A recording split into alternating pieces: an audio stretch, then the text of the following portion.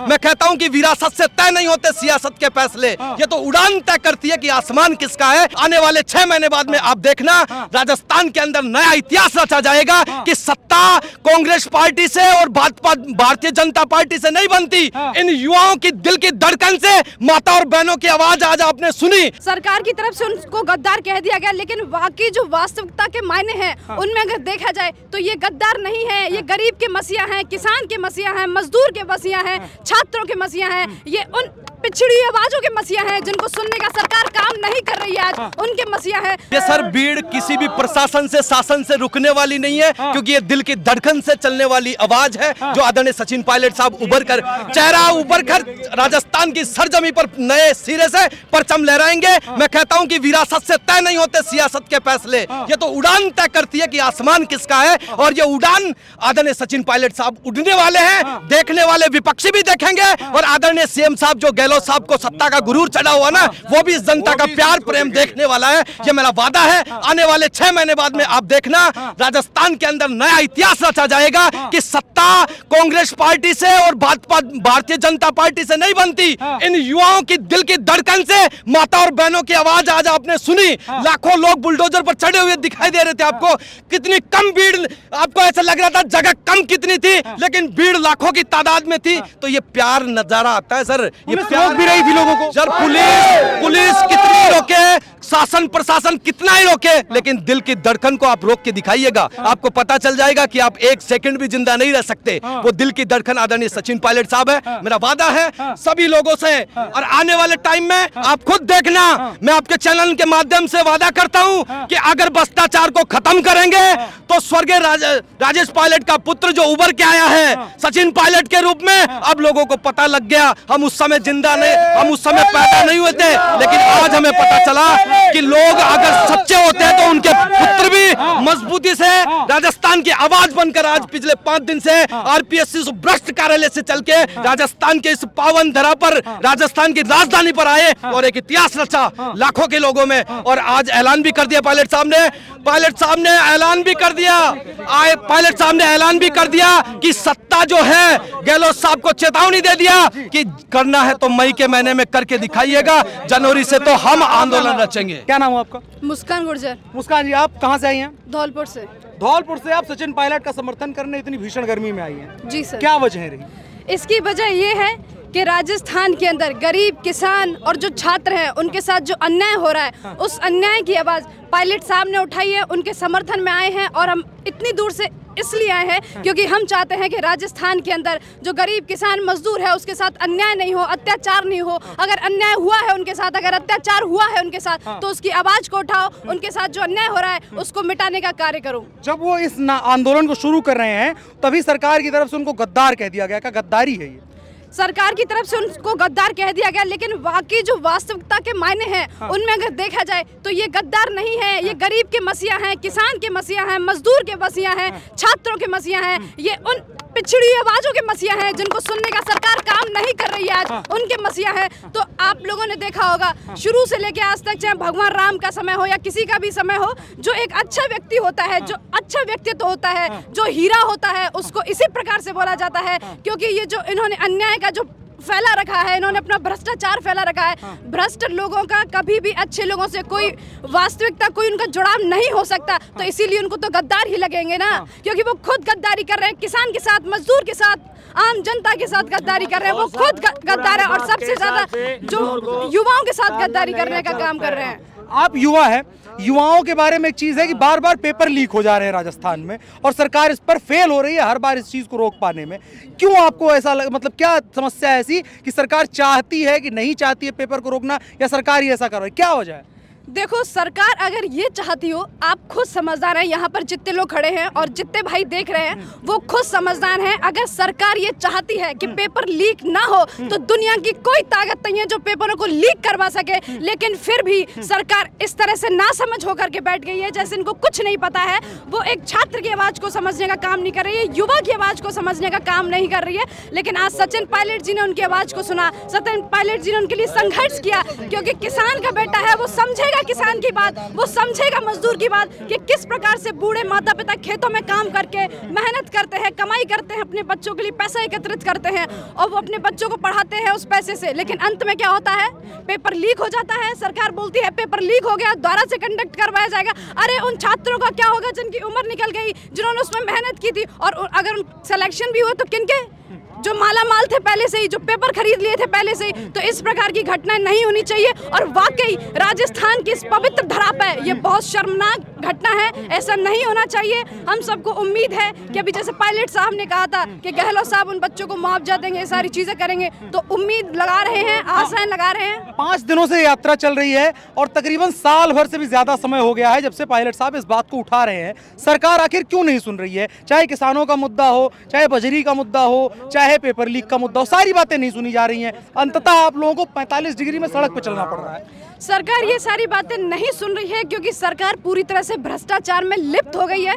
जो व्यक्ति भ्रष्टाचार में लिप्त हो जाता है, उसको भ्रष्टाचार के सिवा कुछ नज़र नहीं आता। उसको सिर्फ़ और सिर्फ़ भ्रष्टाचार नज़र आता है। पायलट साहब ने पत्र लिखे उन्होंने बहुत, उनको कहा भी पूरी सरकार को लगातार वो आवेदन किया लेकिन उसके बावजूद भी कुछ नहीं हुआ तब जाकर पायलट साहब को इस तपती धूप में इस पसीने भरी धूप में हाँ। ये यात्रा करनी पड़ी हाँ। लेकिन अब जो जनता का प्यार क्योंकि हमेशा उनके लिए देखता है पायलट साहब ने यहाँ भाषण दिया होगा क्या सुना क्या उनकी मुख्य बातें रही जो आप लोगों को लगा की यहाँ से लेकर के जाएँगे और समाज में उसके बारे में बात करेंगे वो दर्शकों को बताएँ जी पायलट साहब का जो पूरा भाषण था हम्म। उस भाषण से ये चीज़ साफ़ नज़र आ रही थी कि पायलट साहब एक ऐसे नेता हैं हम्म। और क्योंकि वो नेता होने से पहले इस देश के नागरिक हैं हम्म। वो देश को एक सच्चाई की तो तरफ़ ले जाना चाहते हैं। वो सबको ये संदेश देना चाहते हैं कि आपकी कथनी और करनी में कोई अंतर नहीं होना चाहिए, क्योंकि सरकार ने वायदे किए थे कि वो अच्छा काम करेगी, योजनाएँ करेगी, भ्रष्टाचार नहीं करेगी, और यहाँ तक कि सरकार ने वसुंधरा सरकार के खिलाफ भी बहुत बोला था। लेकिन आज परिणाम क्या देखने को मिला? ना तो वो उनकी, उन सारी चीज़ों के बारे में कोई जानकारी एकत्रित कर रहे हैं कि किस तरह से भारतीय जनता पार्टी ने अन्याय किया था, किस तरह से उन्होंने भ्रष्टाचार किया था, उसका कोई परिणाम नहीं है। तो पायलट साहब का पूरा उद्देश्य ये था कि आपकी कथनी और करनी में कोई अंतर नहीं होना चाहिए। अगर जनता ने आपको चुना है तो आप उनके लिए कार्य करें उनकी आवाज़ सुने उनके अच्छे सच्चे मसीहा बने तभी एक आप एक अच्छे व्यक्तित्व हो सकते हैं। पायलट साहब का पूरा संदेश यही था कि आप अच्छे व्यक्तित्व बन के रहिए क्योंकि ये देश अच्छा बड़े एक और चीज़ मैंने सुना मतलब लोगों से बात करते हुए कि अल्टीमेटम दिया गया है। अभी इतनी केवल आंदोलन हुआ है पूरे राज्य में आंदोलन किया जाएगा अगर बातें नहीं मानी तो सर बिल्कुल आंदोलन किया जाएगा। अब हम लोगों ने। सरकार को चुना क्यों? ताकि सरकार हमारे हित में बात करे। हमने भारतीय जनता पार्टी को क्यों दूर किया। क्योंकि भारतीय जनता पार्टी गरीब, किसान, मजदूर, युवा के लिए कुछ नहीं कर पा रही थी, इसलिए हमने कांग्रेस को चुना। लेकिन कांग्रेस भी हमारे साथ अन्याय कर रही है, अत्याचार कर रही है। कुछ कांग्रेस में कुछ ऐसे असामाजिक तत्व तो पैदा हो गए हैं, जो समझने का प्रयास नहीं कर रहे हैं कि जनता ने हमें चुना है तो हम उनके लिए कार्य करें। अगर वो उनके लिए कार्य नहीं करेंगे तो फिर जनता करेगी क्या ऐसे नेताओं का? तो हमें आंदोलन करना पड़ेगा तो आंदोलन भी करेंगे। और पायलट साहब ने बोला अगर वो मान जाएँगे तो ठीक है नहीं तो फिर आंदोलन तो होना ही है। हाँ, अच्छा मैं आखिरी सवाल दिल्ली नहीं सुन रही है क्या? गांधी परिवार या जो केंद्रीय आला कमान जिसको कहा जाता है क्या उसको ये बातें नहीं सुनाई दे रही हैं? देखो केंद्रीय आला आला कमान को तो बातें सुनाई दे रही हैं लेकिन बात अपने घर की है। तो बात ऐसी होती है कि जब घर में कुछ हो जाता है तो वो घर के घर में सुलझ जाए तो ज़्यादा अच्छी बात है। बात तो सड़क पे आ गई है। तो अब आपको बोला है ना कि अभी बात सड़क पे आ गई पायलट साहब ने समय दिया है कि महीने के अंत तक अगर वो उनकी सुन ले तो ठीक है नहीं तो आंदोलन होगा फिर वो आंदोलन गांधी परिवार तो क्या पूरी दुनिया के अंदर जाना जाएगा आंदोलन के? हाँ किसी मसीहा ने। जिस काम जिस काम के लिए कांग्रेस बदनामा परिवारवाद के लिए तो पिछले सत्तर साल से एक ही परिवार का राज है हरियाणा और राजस्थान मेवात पर। हाँ। और वो हमारे मेवातियों का खासकर का मेवात मेवातियों का खून चूसने का काम कर रहा है वो परिवार। वो है तैयब परिवार है जाहिदा खान उसकी एमएलए हैं। इनका अपना इंडिविजुअल कोई वजूद नहीं है सारा कांग्रेसी को और वोटर है वहाँ पर अच्छा। जिसको कांग्रेस का जिसको कांग्रेस का टिकट मिल जाएगा वहाँ की जनता उसको जिता देगी हाँ। कांग्रेस का हार्ड को हार्ड कोर वोटर है हाँ। और उनका खुद का कोई जनाधार नहीं है अगर उनमें दम है हाँ। तो वह आज़ाद टिकट पे इलेक्शन लड़के जिता दे हाँ। लड़के जीत कर दिखा दे हाँ। हम जिन जो कमज़ोर से कमज़ोर कैंडिडेट होगा पूरे मेवात में हम उनको उनके खिलाफ खड़ा कर देंगे वो भी उनसे जीत जाएगा खान जो सरकार में मंत्री खान जो शिक्षा में शिक्षा जो फ़िलहाल राजस्थान की शिक्षा मंत्री है हाँ। वो शिक्षा पर एक भी शब्द नहीं कहती लगातार पेपर लीक हो रहे हैं उन्हीं के लगातार पेपर लीक हो रहे हैं ट्रांसफ़र के नाम पर पैसे उगाए जा रहे हैं हाँ। और दूसरा ये है कि उन्होंने जो हिंदी मीडियम स्कूल है वहाँ पर उनके बोर्डों को हिंदी से इंग्लिश में लिखवा दिया और वहाँ की भोली भोली बहाली जनता को बेवकूफ़ बनाकर ये कह रही है कि हमने अब इनको इंग्लिश मीडियम कर दिया। बड़े बड़े पोस्टर बैनर लग गए हैं कि लगा दिए। जबकि ये है कि हिंदी मीडियम के जो स्कूल हैं उनमें टीचरों की पूर्ति नहीं है और आज तक हमें यही खबर नहीं कि जो इंग्लिश मीडियम स्कूल बनाए हैं उनमें इंग्लिश इंग्लिश टीचरों की भर्ती कब कर दी उन्होंने। स्कूलों में पानी की व्यवस्था नहीं है सफ़ाई की व्यवस्था नहीं है। कहीं कूड़े करकट पड़े हुए हैं। हाँ। जिस तरीके से जिस एरिया का जिस डि- जिस डिपार्टमेंट का कोई मंत्रालय मिलता है जिस भी विधायक को हाँ। वो उस डिपार्टमेंट में अपने एरिया को चमका देता है पर वहाँ पर शिक्षा के क्षेत्र में बद से बदतर हालात हैं। वह मुसलमान बाहुल्य इलाका है और मुसलमान समुदाय से ही आने वाली आपकी विधायक हैं और वो मंत्री ही बनी हुई हैं। आपके लिए क्या किया? हमारे लिए उन्होंने आज तक कुछ भी नहीं किया। जब राहुल गांधी जी की पद यात्रा निकली थी तो उन्होंने मेवात के वहाँ पर हालात देखे थे। इसीलिए उनको पता लगा कि ये एरिया शिक्षा के क्षेत्र में पिछड़ा हुआ है। इसीलिए उसी दौरान उनको शिक्षा मंत्रालय दिया जा गया जिससे कि अपने लोगों के लिए अपने समाज के लिए कुछ कर सके। पर उन्होंने शिक्षा का एक शब्द नहीं सुना मैं हमने आज तक उनके भाषणों में वो सिर्फ़ इतना करती है कि अगर मैं उनके खिलाफ बोल रहा हूँ ऑन द स्पॉट तो कोई ना कोई कोई ना कोई फर्जी मुकदमा मेरे खिलाफ वो लगा देंगी। डेली यही हालात है। गुंडाई चल रही है गुंडाई चल रही है। डी की जो जेल है ऐसी फर्जी मुकदमे से वहाँ के आम जनता खासकर मोमडन कम्युनिटी भरी हुई है। उनको डराकर धमकाकर क्योंकि वहाँ पर बहुत ही जो अनपढ़ता का रेशियो है बहुत ही ज़्यादा हाई है।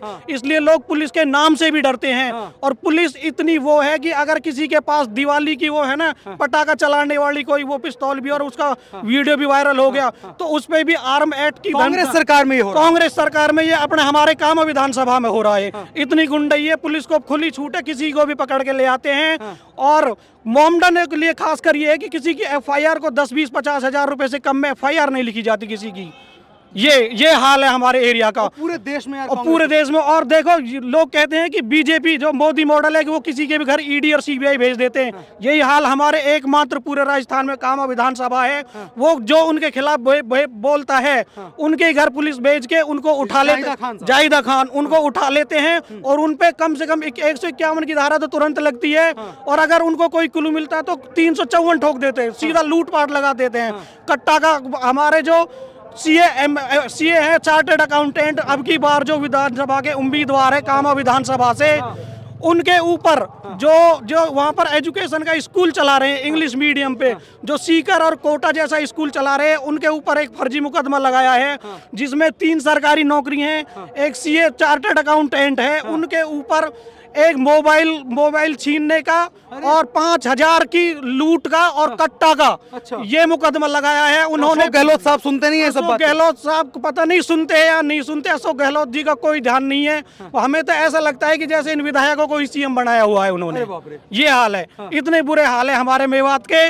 वहाँ पर लोग जो अपने खेतों में पानी चला रहा है खेतों में वो भी उस विधायक खिलाफ बोलने से डरता है कि उसको पता लगता है कि अगर किसी ने मेरे बारे में कुछ कह दिया तो कल ही मुझे पुलिस पकड़ ले जाएगी और कोई भी फर्जी मुकदमा लगा देगी। और दूसरा एक में भी वो एक सौ इक्यावन में भी वो ऐसी जमानत नहीं होने देते। उसमें भी हैसियत लगानी पड़ती है दो दो तीन तीन लोगों की वकील भी मोटा पैसा खाते हैं तब और तब जाके तब जाके उनकी होती है और उनको वार्न कर दिया जाता है कि आगे से अगर बोलोगे विधायक के खिलाफ तो इससे भी बुरा हल कर दिया जाएगा। ठीक है अब हल क्या है? सचिन पायलट की यात्रा में सचिन पायलट से आप लोग क्या चाहते हमारी सचिन पायलट जी से यह रिक्वेस्ट है की पिछली बार उनका टिकट कट गया था हाँ। कांग्रेस आला कमान की तरफ़ से हाँ। तो सचिन पायलट जी ने उनको टिकट दिलवाया था हाँ। क्योंकि वो परिवारवादी वाली राजधानी 1947 से आज तक मेवों पर वही पखंदान राजनीति करता आया है और उनको उनको अनपढ़ रखा हुआ है आज तक एक भी स्कूल कॉलेज शिक्षा के नाम पर उन्होंने आज तक कुछ भी नहीं किया वो सत्तर साल से हमारे ऊपर राज कर रहे हैं पर आज तक सत्तर इन सत्तर लोग भी हरियाणा और राजस्थान को मिलाकर उन्होंने कोई नौकरी नहीं लगाया आज तक ये हाल है। क्या नाम हो आपका? मेरा नाम इरशाद है। इरशाद साहब हाँ जी। बहुत ज़रूरी बात कही क्योंकि एनसीआरबी का भी डेटा आया है क्राइम के मामले में। राजस्थान पूरे देश में नंबर एक हाँ। है ये बात की जानी ज़रूरी है ये इस मंच से कम से कम उठनी चाहिए। बिल्कुल जी। और मैं मैं ये कह रहा हूँ कि सत्तर साल से उन्होंने वो नहीं किया और जो और जो क्राइम को बढ़ाने वाली चीज़ें होती है हर गाँव में हर समाज में वो दो पार्टियाँ बना देते हैं और फिर दोनों पार्टियों को लूट लूट के खाते हैं। लूट लूट के और डरा के डरा के धमका के काम करते हैं।